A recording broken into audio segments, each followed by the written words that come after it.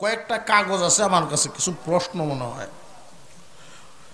কোনো ব্যক্তি যদি বান্দার হক, পাওনা পরিশোধ না করে, আল্লাহর কাছে তৌবা করে, তবে কি তার তৌবা কবুল হবে?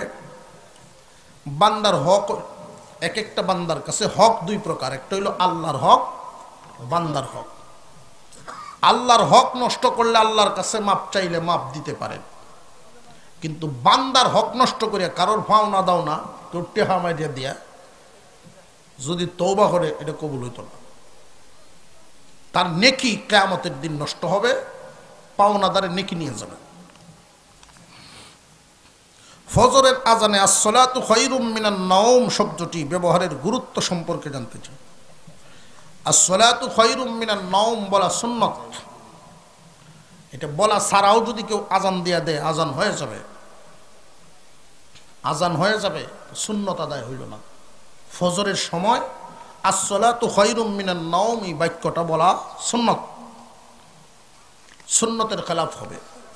বাক্য না বললে। মনে করেন কোনো একদিন কোনো আজানে আসরাতু খৈরুম মিনান নাম কইল না, ভুল হইতেই পারে। কারণ সাইরত তো আজান একভাবে আর এই আজান আরেকভাবে। এটা এক নম্বর কারণ। দুই নম্বর হলো ঘুমত উঠাইছে ঘুমত উঠাইলে ব্যক্ত মতো হ্যাঁ। লাগ ধরে না যদি ভুলেই বাক্য না বলে নামাজেরও কোনো ক্ষতি নাই, আজানও আদায় হয়ে যাবে। আজান হয়ে যাবে, কিন্তু সুন্নত বাক্যটা ছুটে গেল। বাক্য বলা সুন্নত। মসজিদের সহ তো বেটা নামাজও আইয়ে না, কিন্তু এই টাইমে বেটা ফেসবুক চালায়। এটা হুনে মর্জন রে মর্জন সাহেব, শুনি। কিতা কইসলে না মনে আছে কিতা আছে নামাজ পড়ছে না, খেতার তলে থেকে হেঁটে মনে রাখছে।